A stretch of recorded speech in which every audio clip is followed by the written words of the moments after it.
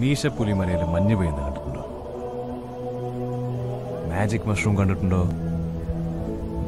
ഇതൊന്നും കാണാതെ ധൃതി പിടിച്ച് അങ്ങോട്ട് നിന്നിട്ട് പെന്നയ്യൻ അവിടെ ചെല്ലുമ്പോൾ പുള്ളിക്കാരൻ നീ ഇതൊക്കെ കണ്ടിട്ടാണോ ഇങ്ങോട്ട് വന്നിരിക്കുന്നതെന്ന് ചോദിക്കും. ഇതൊക്കെ നമുക്ക് വേണ്ടിയല്ലേ മൂപ്പർ ഉണ്ടാക്കി വെച്ചിരിക്കുന്നത്? അതൊക്കെ ഒന്ന് കണ്ട് ഹാപ്പി ആയിട്ട് കാലം കൊടുത്തു.